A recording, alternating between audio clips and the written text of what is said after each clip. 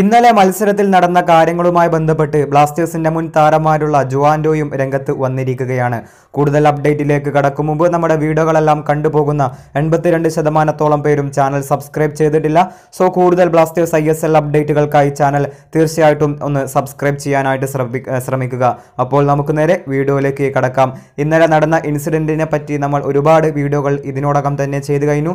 വീണ്ടും വീണ്ടും വീഡിയോ ചെയ്യുകയാണ്. അതായത് ഒരുപാട് അപ്ഡേറ്റുകൾ നിങ്ങളിലേക്ക് ഇനിയും കൈമാറാനുണ്ട് ഓരോ വീഡിയോ ആയിട്ട് നമ്മൾ ചെയ്യും. സമയം പരിമിതമാണ്. ഏതായാലും നമ്മൾ കണ്ടന്റിലേക്ക് തന്നെ കടന്നു വരാം കേരള ബ്ലാസ്റ്റേഴ്സിന്റെ മുൻ താരമായിട്ടുള്ള ജുവാന്റെ പ്രേഡോസ് പല തവണയും കമന്റ് ബോക്സിൽ കേരള ബ്ലാസ്റ്റേഴ്സിനെ പിന്തുണച്ചുകൊണ്ട് ബ്ലാസ്റ്റേഴ്സ് വിട്ടുപോയ ശേഷം കമന്റ് ബോക്സിൽ എത്താറുണ്ട്. ഏതായാലും ഇപ്പോൾ അദ്ദേഹം പറയുന്നത് ഫുട്ബോളിൽ ഇതുപോലെയൊന്ന് ഞാൻ കണ്ടിട്ടില്ല. നല്ല സീസൺ കൂടുതൽ ശക്തമായി തിരിച്ചു വരും. അതുപോലെ ഒരു ശക്തിയുടെ ഒരു ഇമോജിയും അതുപോലെ ഒരു യെല്ലോ യെല്ലോ ലവ് ഇമോജിയുമാണ് അദ്ദേഹം കൊടുത്തിട്ടുള്ളത്. വീഡിയോ സനിക്കാണ് ഏതായാലും അദ്ദേഹത്തിനെയും നമുക്ക് ഒരിക്കലും മറക്കാൻ സാധിക്കില്ല. വീഡിയോ സനിക്കുന്നു ഫുട്ബോൾ ലോകത്തെ കൂടുതൽ വാർത്തകൾക്കും വിശേഷങ്ങൾക്കുമായി സബ്സ്ക്രൈബ് ചെയ്യാനും മറക്കരുത്. സോ നന്ദി.